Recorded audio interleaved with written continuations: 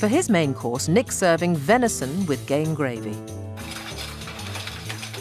Very happy about the main course. Um, and I got some new venison in, which wasn't as good. But I've actually just found the old bits, and we've just trimmed them up, and it's much better.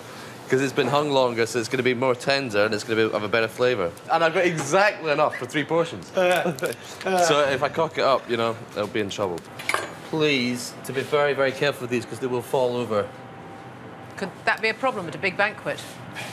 Uh, yeah, I'm doing it a bit poncy than I'd normally do at a big banquet. Okay. Guys, There they please, please, please, keep these plates straight, okay? If you don't, the gravy is going to go all the way up the side, okay? And it's going to look minging.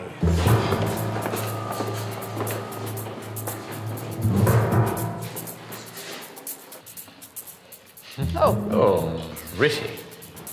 smells good. A little Rowan um, berries. pairs of pleasure coming out of Oliver. That is beautifully cooked. What they've got is a very, very good quality ingredient, which is cooked well, right? Yes, that's right. I mean, it's accompanied by vegetables which actually go well with it enormously well. And you know what? This dish sounded very heavy, didn't it? Yeah, it did. And, and in actual fact, it's not heavy at all. Absolutely lovely. No, it's a very good dish. Again, what I really like about this is it's, it's, it's very restrained. Yeah. There's nothing added there for effect. There's a great danger I'll eat it all. Oh, Prue, what a terrible thing. Well, the venison seems to be winning the judges over, but down in the kitchen, Tom desperately needs his beef to cook in time. The heat's on. Or is it? I need half an hour in the oven, half an hour to rest. Yeah, Do you know what I mean?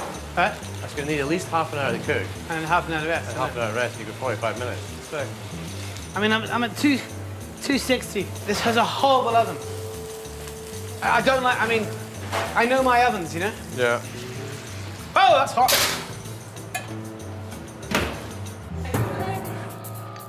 While Tom battles with the oven, the judges continue to shower Nick's venison with praise. That's just good. It does what it says on the packet. It does what it says on the packet, and it says, says the virtues of restraint and very accurate cooking. Tom's making roast sirloin of Highland beef with vegetables and a radish relish. So is Nick worried by the competition? Venison versus beef. Roast veg versus little baby things. So mine's quite robust and chunky. His is a bit ninsy-tinsy. So he seems fairly confident, but Tom's still battling against the clock.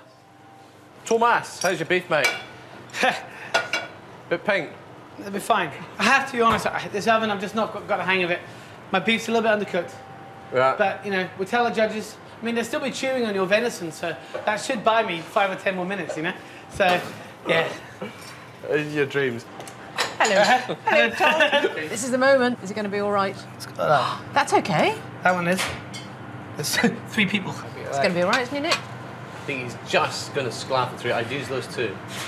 If I got served that, I'd be over the moon. Hey! Oh, oh boy, poor uh, boy. I have to say you're as pink as the meat.